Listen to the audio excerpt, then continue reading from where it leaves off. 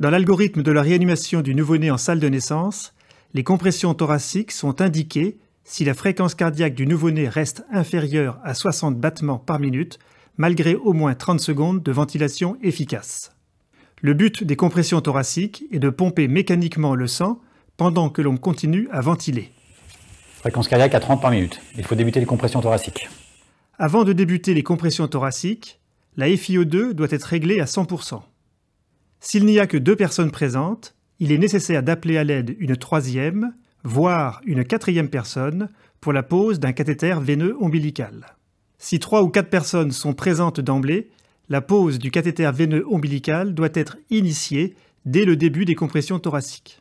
Pendant que le soignant à la tête continue la ventilation, l'autre soignant commence les compressions thoraciques. On peut laisser le nouveau-né dans sa position initiale ou le tourner entre 45 et 90 degrés. Le nouveau-né doit être sur un support ferme.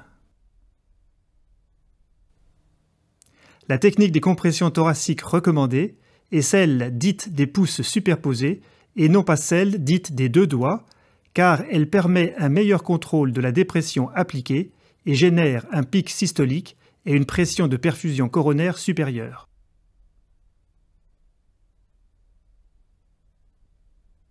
Les mains de l'opérateur encerclent le thorax du nouveau-né les pouces sur le tiers inférieur du sternum, entre la ligne bimamelonnaire et l'appendice xyphoïde, les doigts sous le bébé, le long du rachis.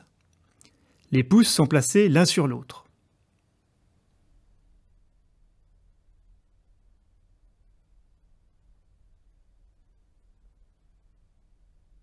La pression des pouces est appliquée verticalement pour comprimer le cœur entre le sternum et le rachis,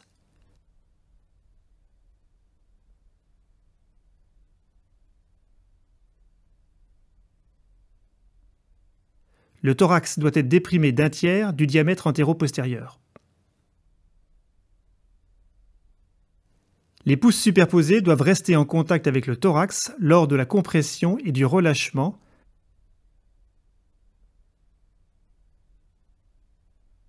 pour garantir la régularité et l'efficacité des compressions. Il faut faire 90 compressions et 30 insufflations sur une minute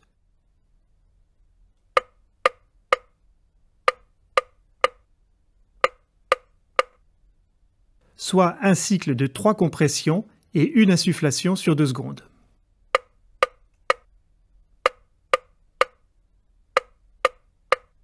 Il est nécessaire de coordonner la ventilation et les compressions thoraciques.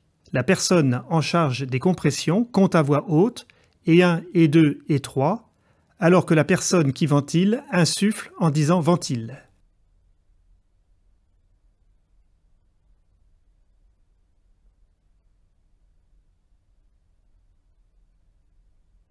1 et 2 et 3. Ventile. Et 1 et 2 et 3. Ventile. 1 et 2 et 3. Ventile. Et 1 et 2 et 3. Ventile. La verbalisation des actions garantit une bonne coordination et un bon rythme.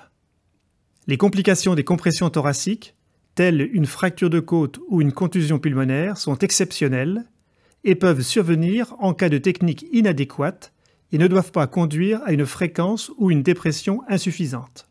Il est nécessaire de réévaluer la fréquence cardiaque toutes les 30 à 45 secondes pour décider de la poursuite ou non des compressions thoraciques. Il a été montré que le retour à une circulation spontanée peut prendre plus de 30 secondes après le début des compressions thoraciques. On cesse les compressions thoraciques dès lors que la fréquence cardiaque est supérieure à 60 battements par minute.